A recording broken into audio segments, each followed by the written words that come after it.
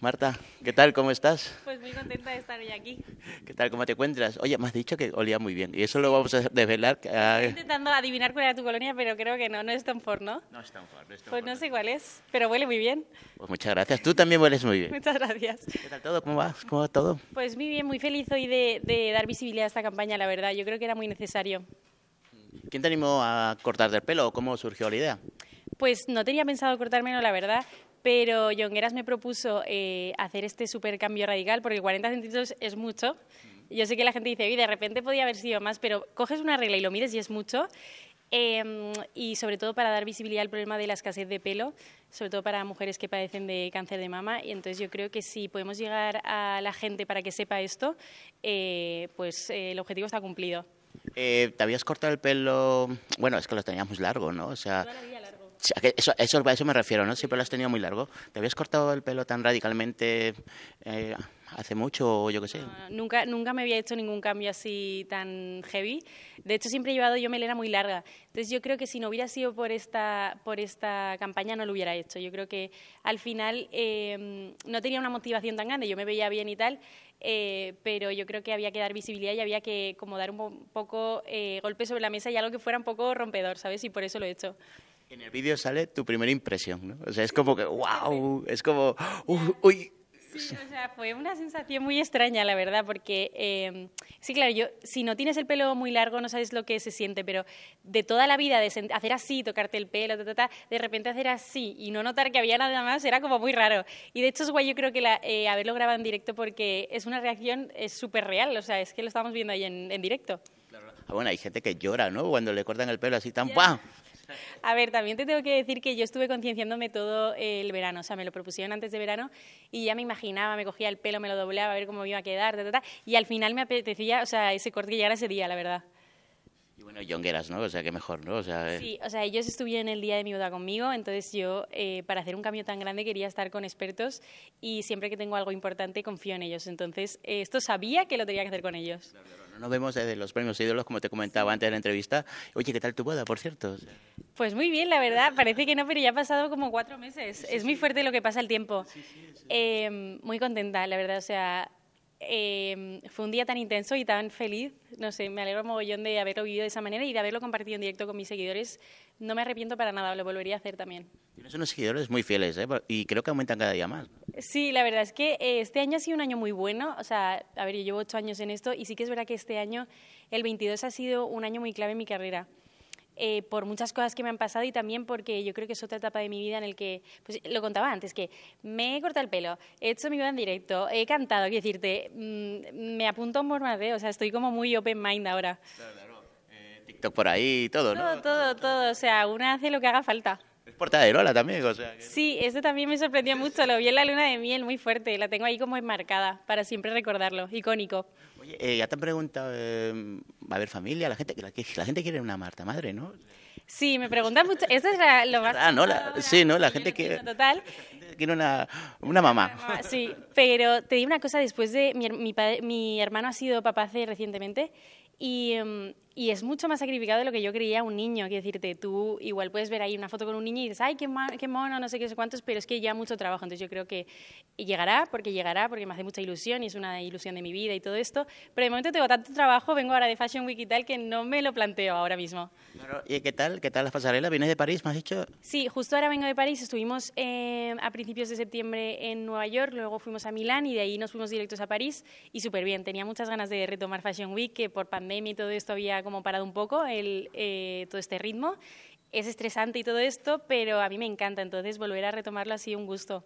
¿Cómo es una agenda de un influencer como tú?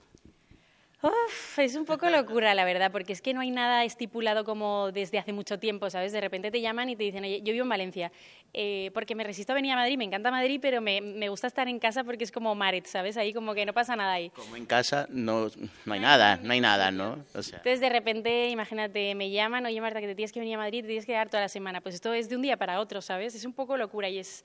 Por eso yo cuando me planteo lo de los hijos y tal, digo, madre mía, en ese momento voy a tener que parar un poco el ritmo porque es que no para, ¿sabes? De repente te llaman para irte a París, o sea, no tiene por qué ser aquí España, ¿sabes? Un poco locura, pero bueno, lo llevamos bien, que es lo importante. llegas a los sitios, ¿no? Sí, o sea, soy bastante puntual, diré, ¿eh? Nunca he perdido un vuelo eh, ni nada de esto. O sea, que yo creo que soy una chica puntual. ¿Y Qué mejor, bueno, vas a acompañar a tu hermana, ¿no? El último story sale con tu hermana llegando a Madrid.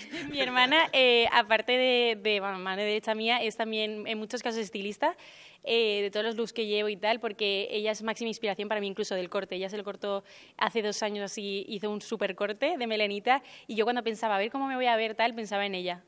Oye, has dicho que tu inspiración es tu hermana y quién es tu inspiración en la moda. Pues precisamente mi hermana, o sea, ella, eh, de hecho yo le dije, por favor, acompáñame a todas estas cosas, además a ella también le gusta muchísimo Fashion Week y tal. Porque, Mary es muy guapa, o sea, Mary además... Sí, y tiene un estilazo que yo ni aún haciendo mil veces lo tendría. Tiene un talento innato que, eh, pues, eh, ¿por qué no aprovecharlo? Y yo, por favor, ayúdame, y entonces ella me ayuda siempre con mis looks para eventos, para eh, Fashion Week, para todas estas cosas.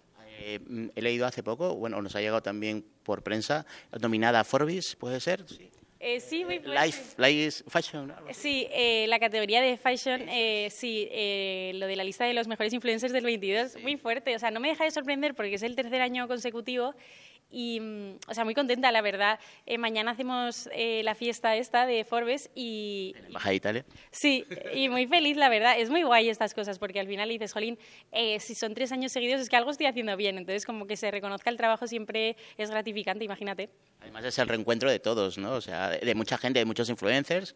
Y bueno, pues el, lo- el último encuentro de influencers fue en Premios Ídolo, que se encontraron muchísimos, ¿no? Sí, bueno, luego han habido algunos, en Fashion Week y tal también coincidimos muchas, sobre todo las internacionales y tal, que las veo en Fashion Week, pero sí, ahora de, de vuelta de verano yo creo que es el evento donde coincidimos todas otra vez y te- tengo muchas ganas de verlas. Claro. Oye, ¿qué tal está María Pombo? ¿Qué tal, qué, están, ¿Qué tal están todas sus amigas? El otro día coincidimos con todas en una comida, pero no estabas tú, creo. Eh, pues estaría en Fashion Week, digo yo, ¿no? sí, estaría siempre- Eh, pues coincidí con algunas en París eh, para un evento, pero normalmente en Fashion Week no suelen venir todas, voy con Tere, eh, y es más en eventos en Madrid. Eh, y yo creo que mañana me encontraré con, con todas. Eh, pues me apetece mucho, la verdad, porque antes lo comentaba, ¿hay competencia, no sé qué, sé cuántos? Pues fíjate, yo prefiero mil veces ir a estos eventos y estar todas juntas porque ir sola es un rollo, quiero decirte. Al final somos amigas, entonces es mucho mejor compartirlo con gente que vivirlo sola. No tiene gracia la vida. Oye, cambiando de tema de actualidad, de influencer a influencer, el tema de Tamara, te lo han preguntado también algunos compañeros, ¿cómo lo ves? Pues yo ella no la conozco personalmente, o sea, sí que la sigo en redes y tal, eh, pero creo que después de todo lo que ha vivido y cómo lo ha gestionado, creo que lo ha hecho bastante bien, porque yo me pongo en su piel. El año pasado, que estaba prometida, que de repente te enteras de algo así tan fuerte, tal, eh, no sé cómo lo habría llevado. y Yo creo que Tamara lo ha hecho bastante bien. O sea, me parece un ejemplo para gentes que pasan por, por ese tipo de situación, eh, de gestionarlo bien. O sea, que, que ole claro. Encima que, claro, se iba a casar, o sea que... Claro, yo, yo me ponía en su piel y decía, Dios mío, me pasa a mí esto del año pasado que mm, estaba prometida con Lorenzo, ta, ta, ta, ¿cómo gestionas eso? Entonces yo creo que ella lo ha hecho muy bien. eh, entonces, pues nada, que ole ella, claro. Y cambiando de otro tema, eh, ¿qué tal está tu amiga Laura Escanes? Pues fíjate, me han preguntado mucho por Laura y es que como he estado fuera, volví hace nada de París, no he tenido oportunidad de verla, pero voy a aprovechar esta semana que estoy en Madrid, que tengo mucho curro, para ver si podemos quedar, que me apetece mogollón y que me cuente. Pero lo decía antes, que conociendo a Laura eh, como la conozco y a Risto las veces que he coincidido con él, que es un tío estupendo y tal, yo creo que lo van a llevar muy bien. Se les, que sí. se les ve, ¿no? Que, Ellos son, yo creo que lo van a gestionar muy bien y más por su familia y todo. Marta, cuéntanos otro proyecto que tengas ahí pendiente. Pues otro proyecto, como siempre en Glow Filter, estamos pensando mil cosas. Si hace falta cantar una canta, si hace falta bailar una baila. Eh, entonces estamos eh, preparando nuevos lanzamientos y si Dios quiere una fiesta como la del año pasado que fue brutal eh, eh, para este invierno también. ¿Habrá fiesta que supere tu boda? ¿Habrá fiesta que supere mi boda? Uh, pues a ver, una boda es una boda, pero te digo una cosa. Lo Yo, pasaste bien, ¿eh? ¿O lo pasaste...? Muy bien. Y yo para eso me hice tres vestidos para poder darlo todo. Pero yo siempre estoy dispuesta a hacer cosas mejores. Siempre hay que mejorar lo anterior. Entonces, aunque no sea una boda, que es súper importante, fiestas guays vamos a hacer, claro que sí.